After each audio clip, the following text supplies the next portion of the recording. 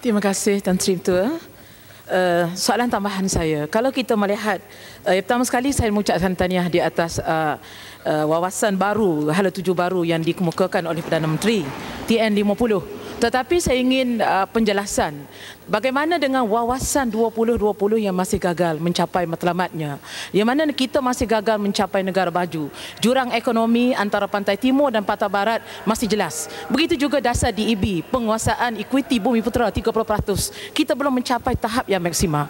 Jadi saya ingin tahu minta penjelasan daripada Yang Bawa Menteri apakah kengkangan yang dilihat oleh Perdana Menteri sendiri sebagai uh, pentadbir dalam negara kita. Apakah kengkangan untuk kita mencapai matlamat dan hala tuju eh, yang benar-benar membawa wawasan yang boleh membawa kesejahteraan dunia dan akhirat. Minta penjelasan.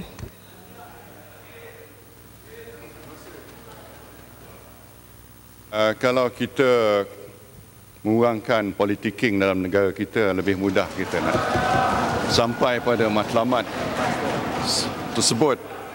Uh, jadi yang ha-, pada hakikatnya kita bukan gagal tetapi kita akui ada kelemahan-kelemahan sebab kalau kita menetapkan satu sasaran, sasaran itu mestilah merupakan satu sasaran yang dengan izin Tuan Tua ambitious. Kalau tidak, dia tidak ada maknanya.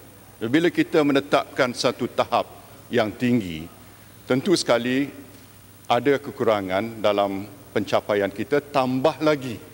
Ah, ini ini perlu difahami oleh yang berhormat, ada external factors external factors, faktor-faktor luaran yang luar daripada kawalan kita. Umpamanya kalau ada kemelisitan ekonomi dunia, kalau ada harga minyak yang mengudum umpamanya, komoditi, harga komoditi yang jatuh, segala-galanya. Ini semua luar pada kawalan kita. Kita andaikan persekitaran yang kondusif. Tapi kalau persekitarannya sebaliknya, kita kena terima ia membawa kesan pada pencapaian kita. Jadi saya nak katakan bahawa kita bukan gagal, kita berjaya sebenarnya tetapi masih ada ruang untuk ditingkatkan lagi pada masa akan datang.